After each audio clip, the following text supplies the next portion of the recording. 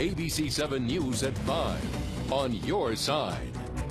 It's not uh, case closed, just case suspended. Today, police in Charlottesville announced that they are hoping that someone out there comes forward with more information about an alleged gang rape at a campus fraternity. Of course, this case first came forward after that article in Rolling Stone magazine, an article that the magazine later rescinded. Suzanne Kennedy is, Kennedy is in Charlottesville with the results of the police investigation.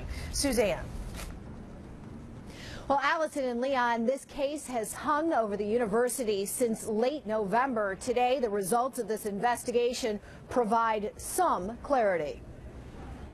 We have no evidence that supports those, those assertions. Those assertions were made in this November Rolling Stone article entitled A Rape on Campus. It told of an alleged gang rape of a woman called Jackie at the Phi Kappa Psi House in September of 2012.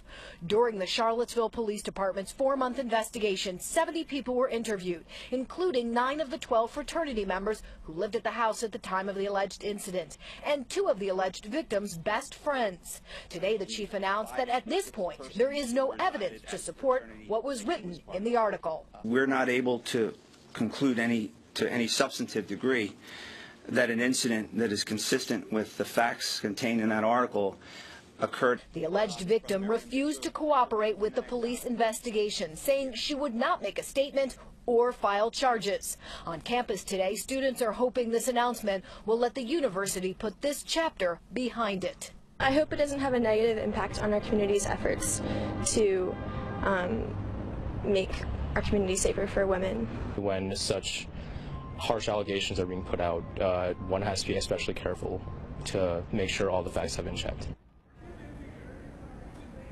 Late this afternoon, this statement from the university saying in part, the investigation confirms what federal privacy law prohibited the university from sharing last fall that the university provided support and care to a student in need, including assistance in reporting potential criminal conduct to law enforcement. As for Rolling Stone, it has called for an independent investigation. Those results are due back next month and will be published in the magazine. As for the fraternity, we went by there earlier this afternoon. No comment on the results of this investigation. Reporting live in Charlottesville, Suzanne Kennedy, ABC 7 News.